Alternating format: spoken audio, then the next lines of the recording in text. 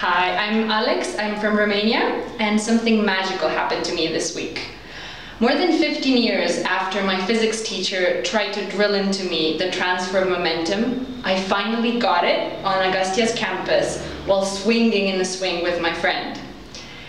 It's an experience that I wish I could have had 15 years ago, and definitely an experience that I wish my children will have before they, lo they lose their love for um, science and their curiosity. I hope that all of you get to experience that, so please come, visit the website, see the campus, and contribute to taking this worldwide.